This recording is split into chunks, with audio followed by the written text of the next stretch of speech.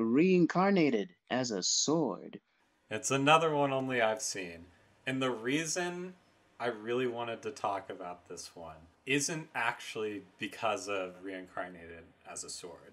The first episode of the show, if you've seen that time I got reincarnated as a slime, uh, it's hmm almost identical. It's a guy, he gets isekai'd, and he wakes up Big surprise. as a sword. but wow. I'm sorry. This season is the season of uh, this season is the season of inanimate objects. Objects. Oh my god, Because it is. You got chain swords this- and swords. microphone. There's this and show- And then there was the other one I wanted to watch where somebody gets reincarnated as a microphone, what? which I never got. to Uh, yeah. There still has there, there still has to be there still has to be the anime adaptation of that story where the guy gets reincarnated as a vending machine. Oh my. Is that one real? I forgot That has to be real. And then there was a Yeah, it is. It movie- Oh my god. And then there was a movie where a guy was a chair. You know, when I ever do isekai stuff, the character doesn't die, they just escape to another world by going through some magic portal or some sewer to get to another place. That's it. Mm. No Yeah. one dies, they just go elsewhere. But who will get hit by a car? No, they just like go to another world in their dreams. Duh.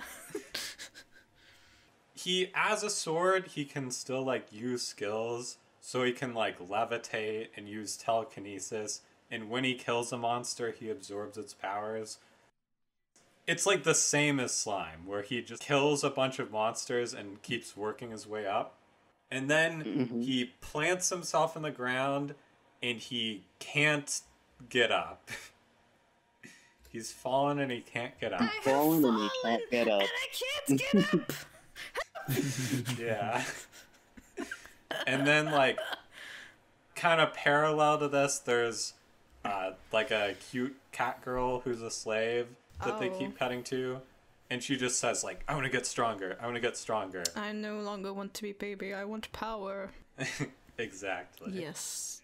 Her like slave caravan thing gets attacked by monsters and they kill everyone but her and conveniently the sword is right there and she pulls them out of the ground and kills the monsters and thus their journey together begins. A life of long friendship awaits.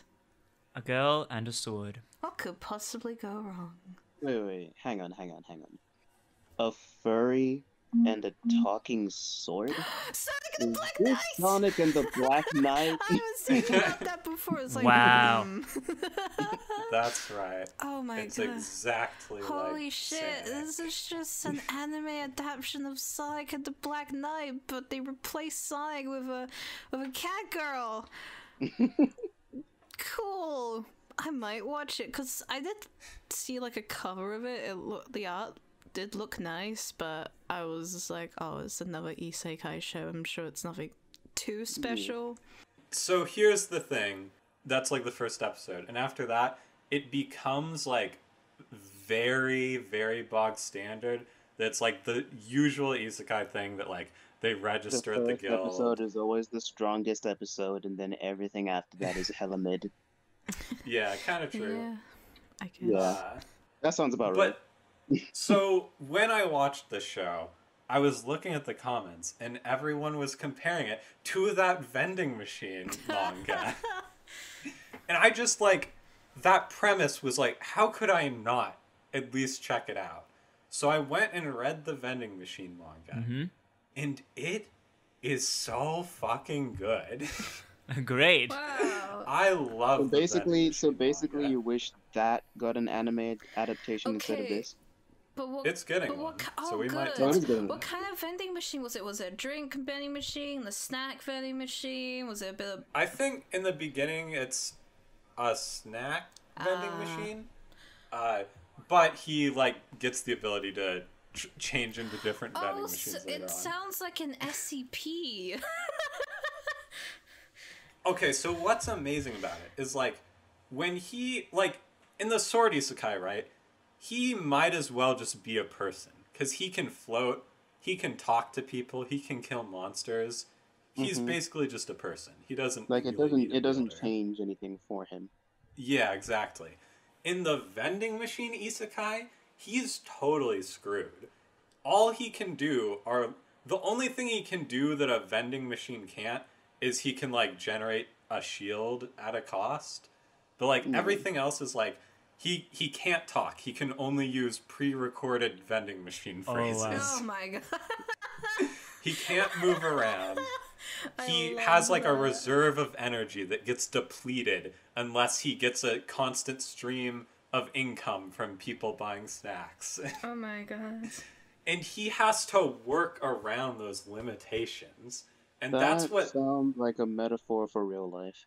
that's what the sword isekai is really missing is that like the fact that he's a vending machine really affects the plot in a great way. Yeah, I was gonna say, it sounds like if you're going to go the route of having someone be reincarnated as an inanimate object, the object itself has to be an interesting one that you can actually do stuff with. Because I don't think there's a whole lot you can do with a sword. I don't think. Uh, I mean, I think they could make it interesting. Can he shoot energy beams or something? Yeah, something like that. And don't let him levitate.